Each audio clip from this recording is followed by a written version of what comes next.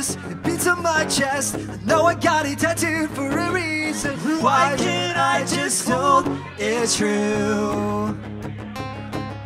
Cause I'm still crashing all these funerals of these people